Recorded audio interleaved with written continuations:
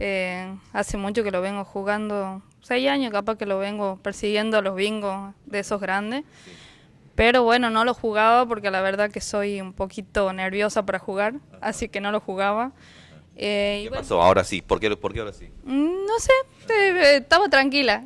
Y digo, me, me a jugar a ver qué tal ando porque yo lo yo no lo no, no persigo números, sino lo, lo agarro al azar.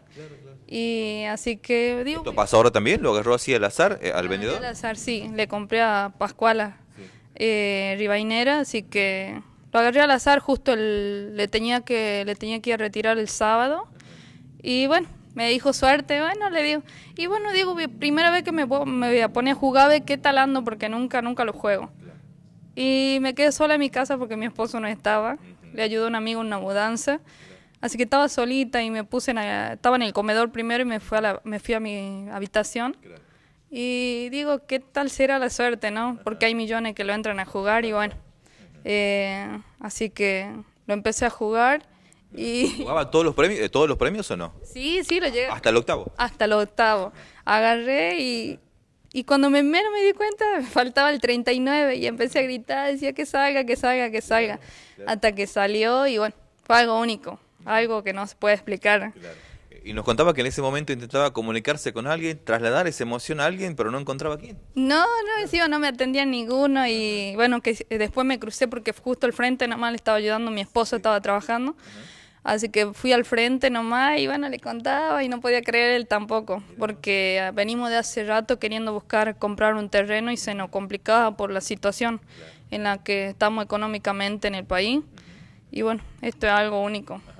¿Cómo le fue hasta el octavo premio? ¿Cómo iba? Eh, ¿Iba anotando algunos números o muy flojo todo? No, iba anotando cuatro números. Llegaba a los cuatro números y decía, no, quiero pasar, quiero pasar.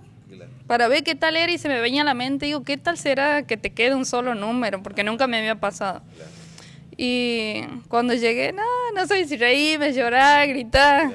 Fue algo único. Eh, el 39 le faltaba. Eh, ¿Pasaron varios números hasta que llegó el 39 o no? Pasó dos, tres números. Y cuando llegó el 39 decía, es mi número, no podía creer. fue algo único, fue algo lindo. Aparte, eh, Dios sabe que estaba necesitando comprarme un terrenito, así que fue algo muy único. Venimos de una familia bastante eh, no costosa, una familia humilde. Eh, y siempre elaboramos para tener nuestras cosas, así que esto fue algo único. Le pedía tanto a Dios porque creo que estamos, como te digo, en una situación bastante difícil económicamente y bueno, esto se me abrió esta puerta para poder comprar mi terreno, así que me siento feliz. Eh, Carla, eh, ¿ya sacó algo en otras oportunidades? ¿Ya, fue, ¿Es de ganar o no? Eh, me pasó acá en esta escuela, antes que entre a trabajar, porque entré hace poquito. Eh, y también compré acá afuera, justo andaba con una amiga, y le digo, vamos a jugarlo, porque se escuchaba mucho, ya venían vendiéndolo al bingo, a la rifa. Y le digo, vamos, vamos a jugarlo. Así que lo compré acá afuera al chico Mocho, eh, Moncho, perdón. Y vine, lo jugué y gané 10 mil pesos también solita. Así que, pero bueno, esto es algo único porque es algo grande, no me pasó en la vida. Eh, estamos hablando de más de un millón de pesos, según. Un millón cien. Así que solita lo saqué, así que fue algo único. Claro.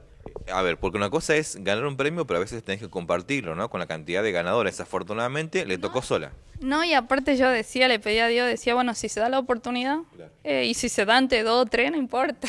Era algo, algo, algo lindo, así que, pero nunca pensé que iba, que iba a pegarlo yo sola nomás al, octavo premio. ¿Qué, fue, eh, qué, qué, pasó cuando su hermano se enteró? Porque nos contaba que también pudo comunicarse de tanto intentar con su hermano. Eh, tenía un hermano que estaba viajando a Salta y lloraba y lloraba de la emoción, lloraba mi familia, este, tengo familia en Salta que estaban allá también, otros hermanos, y lloraban porque no podían creer. Eh, porque primera vez en la vida que no pasen a familia. Así que fue algo, algo lindo, algo especial. Carla, y a partir de esto, ¿quedan ganas de seguir jugando, de seguir intentando? ¿Cómo maneja eso? Todavía no pensó todavía en eso. No, yo igual sigo intentando. me gusta, me gusta. Igual muy poco, como te digo, muy pocas veces lo juego porque sí soy nerviosa para jugar. Entonces, como eso es algo que sale igual, así que muy poco. Así lo que me pasó ayer que lo jugué. Y gracias a Dios sí le pedí a Dios que si algún momento llegara a pasar esto, que lo juegue, que le pedí a Dios que nunca me vaya a pasar nada, ¿viste? Eh, así que fue algo, algo lindo, gracias a Dios. Dios me, Dios me guardó y, y Dios pudo abrir una puerta. Así que esto es algo único. Carla, eh, ¿qué es lo que se sabe en cuanto a la entrega de fecha de premio? Porque todavía no, no es que estás con, con la plata, ¿verdad? No, no, no. Creo que es el otro mes. Eh, creo que no sé si es fecha 11. Aún no me llamaron, pero creo que en esa fecha. O sea que nadie del bingo se contactó con ustedes todavía. No, todavía no. Pero ya salieron los talon un talonario que salen con todos los ganadores, así que ahí salí. Pero yo imagino que ya se van a comunicar.